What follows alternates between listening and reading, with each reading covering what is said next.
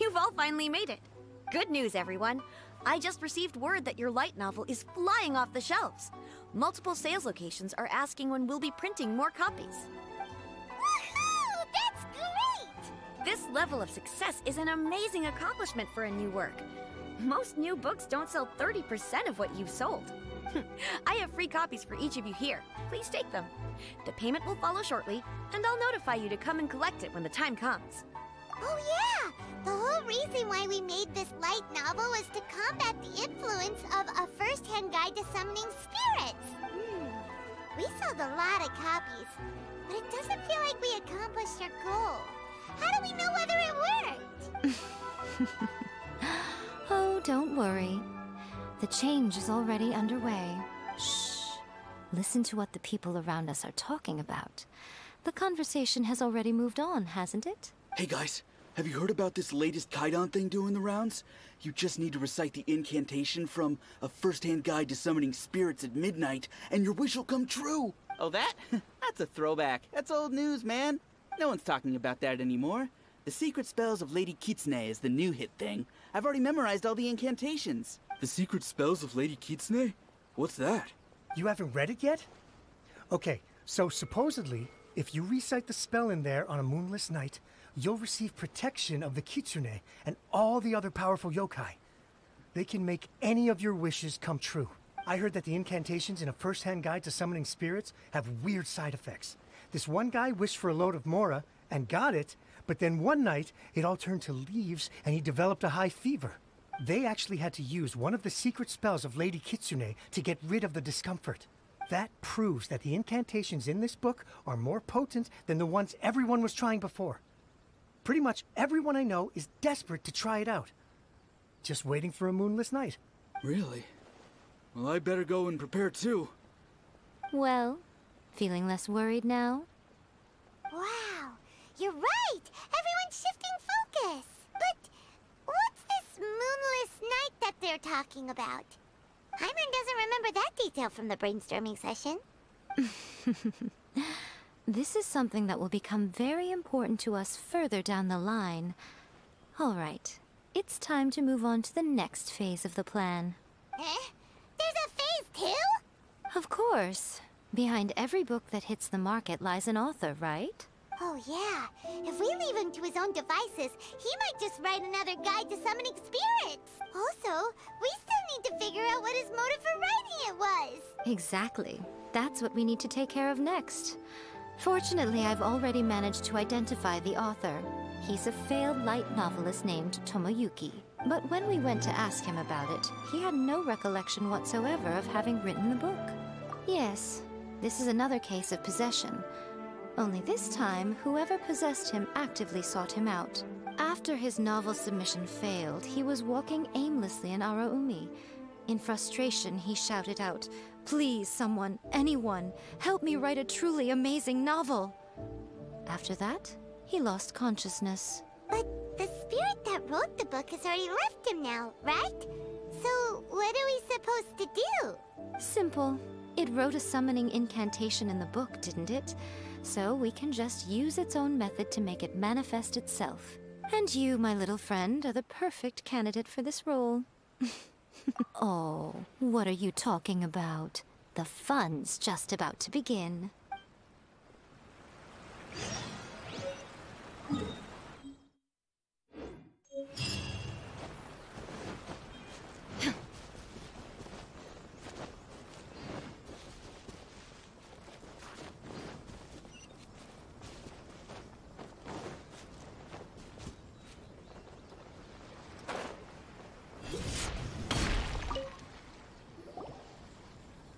Miko, what is this place? The ideal spot for a little meet and greet with a certain elusive author.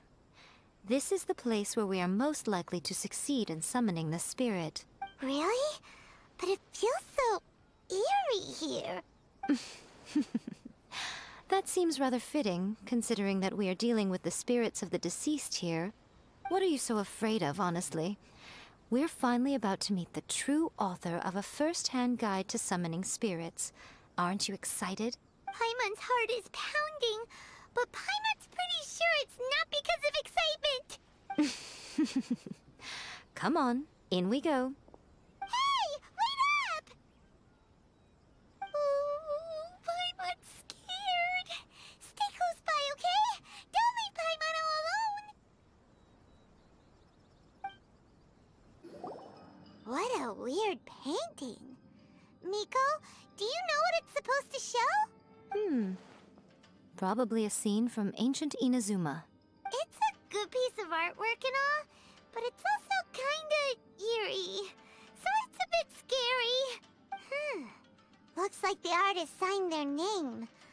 Um, Rakuzai? Hmm. It's not very clear. Let's go inside and take a look.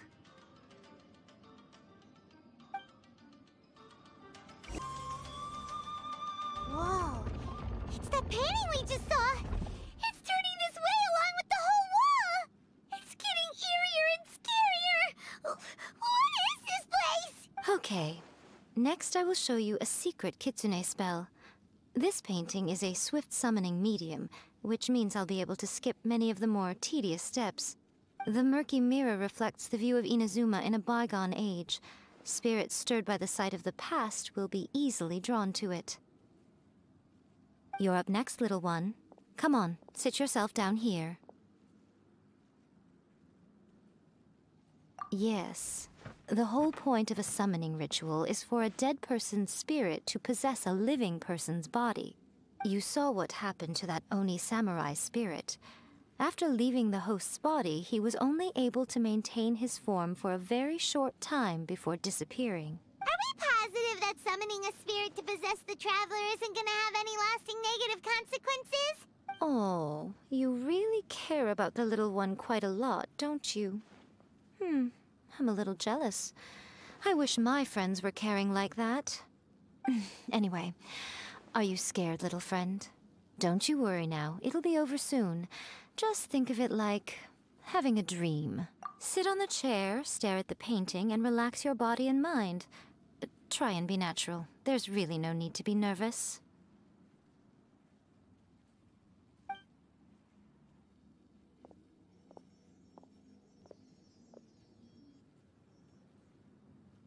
It's like she's sitting inside the painting. Huh? Is Paimon seeing things? Did the painting just move? Recite the incantation in your heart, little one. Also, you'll need to have some intense thoughts going through your head. A wish, for example. Now, what kind of wish do we think it would take to summon forth the author of A First-Hand Guide to Summoning Spirits? Anyone? Um, probably something to do with writing? Very good. The wish needs to be heartfelt, though, so let me help add a little realism to the equation. The book is selling exceptionally well, Traveler, but we're going to need an outline for Chapter 4 as soon as humanly possible. When is the earliest that you can turn it in by? The painting is moving again! What the?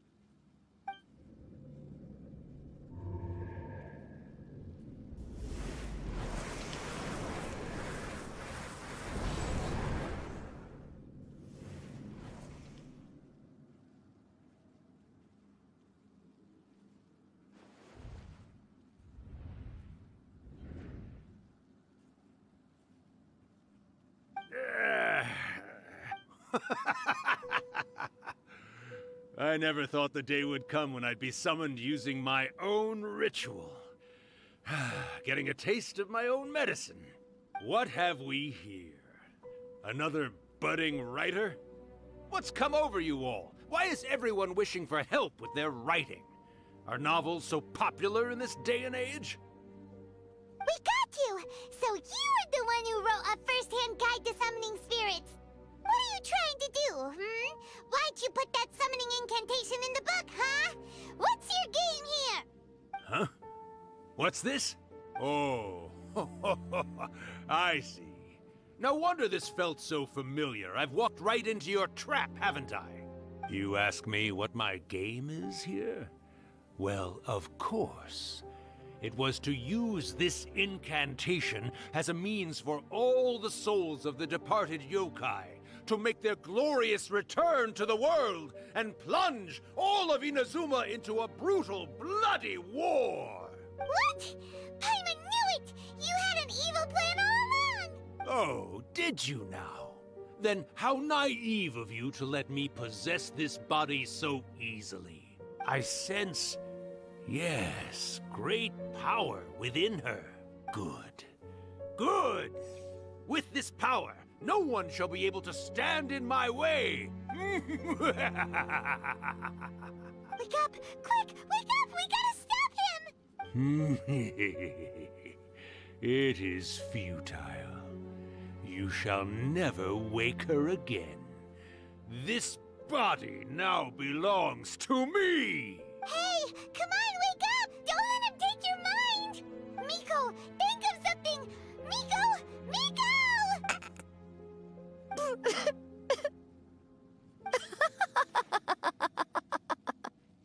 Uh,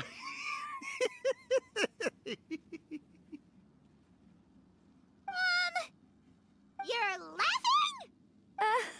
laughing? Oh, Rakusai, you haven't changed a bit. You caught on so quickly. Too perfect. well, you made the face enough times that I couldn't exactly miss the hint. This is what you were going for, yes? Never one to stand on the sidelines of a good spectacle, are you? Always got to dive in and fan the flames, ah, you mischievous little kitsune, you. Look what you've done to this little flying one here. Oh, poor thing scared witless. You were having plenty of fun playing the bad guy a moment ago. Now you're trying to blame it all on me? Rakusai? Miko, you guys know each other? Yes, we do. Of course we do. Allow me to formally introduce the author of A First-Hand Guide to Summoning Spirits, Urakusai. Uh, no, wait. To be more accurate, it's Urakusai's memory. Memory? But isn't he a spirit? Ah, spirits, memories. They're just different words to describe the same thing. Something that comes from the ley lines. Do you remember that recent incident when the Rift Hounds were gnawing at the sacred Sakura's roots? You witnessed human memories leaking from the ley lines, didn't you? Well, since there are human memories, of course there are going to be yokai memories too. In life, yokai possess supernatural powers, and even when they are a shadow of their former selves from a bygone era, they still have the ability to control whether they are visible or not. Typically, yokai memories survive longer in the world than those of humans. indeed, indeed. I was wandering around the sacred Sakura's roots when I suddenly heard someone yelling, Please, someone, anyone, help me write a truly amazing novel. It piqued my curiosity, so I popped inside his body and wrote a novel for him. So that's how it happened. But why did you include a summoning incantation in the novel? Oh, little one. Not to toot my own horn here, but when I was alive, I wasn't just another kitsune, no. I was a mighty and powerful Daiyoukai. The memories of other yokai can't possess human bodies at will like I can. But with this incantation, they can go one last little joyride in the world for a couple of days. Anything they're still itching to do, they can go and get it done. Uh, but. But. She's trying to say that all the commotion this causes is likely to be a great disturbance to the humans. Disturbance? I guess you mean that we might leave them with some broken dreams after we leave, hmm? Oh, yes. And they might have a fever or whatever. But you know, I actually think that the most admirable thing about human beings is the way that they go out and shape their fate with their own two hands, given that they're not born blessed with the same powers that we enjoy. As for those who would rather draw on external power than seek to improve themselves, it's quite right that they learn their lesson eventually. So when you think about it, we're actually doing the humans a big favor. Miko, you agree, don't you? Yes, that's what I thought too. All right then. You finally convinced Paimon. You guys were right. What are you scared of, little one? Don't be deceived by her day to day antics. Miko is actually one of the most powerful yokai out there. Hmm, not only that, Urakusai, but my latest work has beaten that book you wrote, A First-Hand Guide to Summoning Spirits, to become the most popular in Inazuma. Hmm, of course. You were never one to make extra work for yourself where you can help it. And yet you went to all these lengths to find my painting room, and even took the trouble to summon me. I knew you must have some ulterior motive. You were always the one to pick a quarrel with me when we all used to gather around and share stories. All right, all right. You win, I lose. Happy now? Ha! I finally get to hear you say it centuries later. Ooh, I must say it feels good. Hmm. I remember when you were just a little girl, always hanging off my shoulders. A few hundred years later, and you're all grown up. Oh, Urakusai, how much time do you have left? Hmm. Not much. That goes for all of us, actually. We've all got to go back where we came from in the end. Everyone's quite content in many ways, but they still can't help but ask, are we ever going to have another Hyakkiyakou? Don't you worry about that, Urakusai. Arrangements are being made. When my bell rings, it means the moonless night is upon us. Ha ha ha! Great. Wonderful. Fantastic. Miko, it's been nice catching up, but I'd better conserve my energy if I want to stick it out until then. So, I'll be on my way now. All right. Goodbye then, Urakusai. One last thing, Miko. I just want to know, have you been well all these years? I've been great, of course. Every day is a happy one. Especially these days. Not only do I have my light novels, but I've also met these two delightfully nosy outlanders. And even Ei is finally starting to come to her senses. Quite a miracle, given how pig-headed she can be. Oh, well, great. That's fantastic. Urakusai, you'd be right at home in this era. A great storyteller and artist like yourself would be the Yae Publishing House's ace in the hole. And I would personally be hounding you over your next installment. he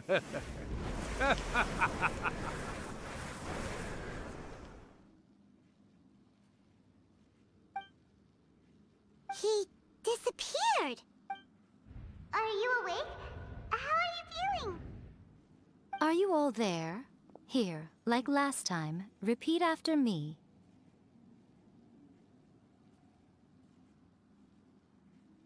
Oh, you beat me to it. Looks like your brain is intact. So, your first possession, hmm? What was it like?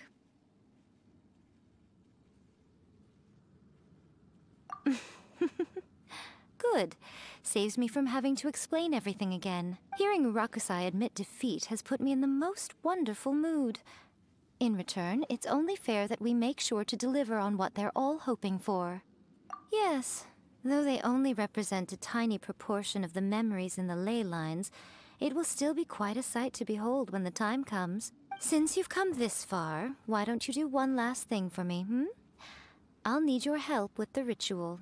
You cannot be serious, Miko! After all that, you still have more errands for us? you guys teamed up to scare Paimon just now. If you think Paimon's gonna do anything you ask for, think again! Oh, come on. I'm really only asking you to finish what you started. Besides, your paychecks are still in my hands. Paimon's paycheck? Uh, well, there's no way out now. We're in too deep.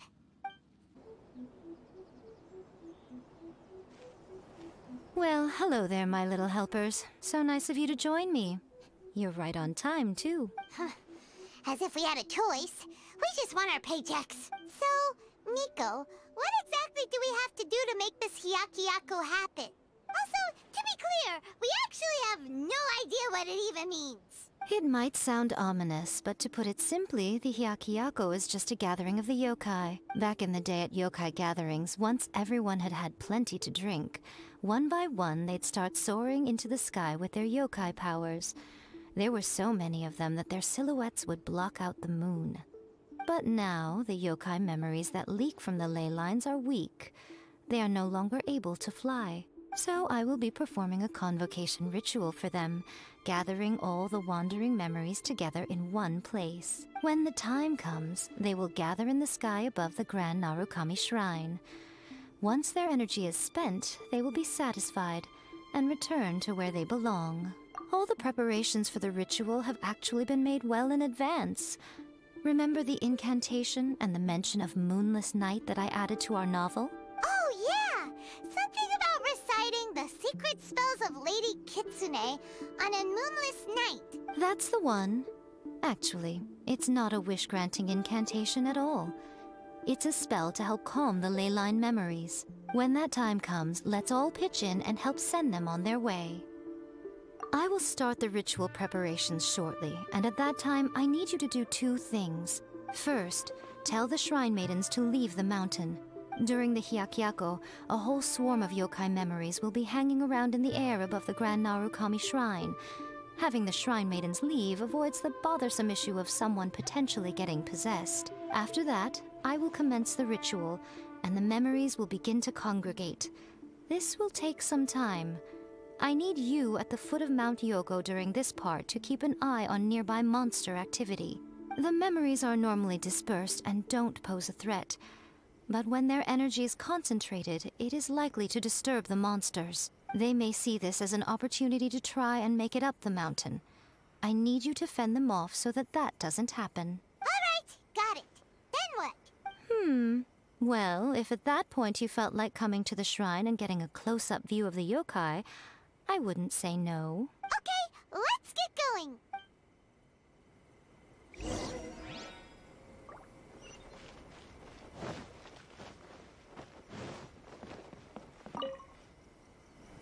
Descend the mountain? Are those Lady Guji's orders? Yep, Miko said the ritual she's gonna perform soon might pose a physical danger to you all. I see. I'll evacuate everyone right away. W- what about you? We'll be taking care of a couple other things for her. And once we're done with that, we're gonna come back and do the ritual together. It seems like Lady Guji places great trust in you. Lady Guji's never allowed anyone else to be in her presence when she's conducted rituals like this in the past. Thank you for helping with the ritual, and good luck. Worry, we're much stronger than we look.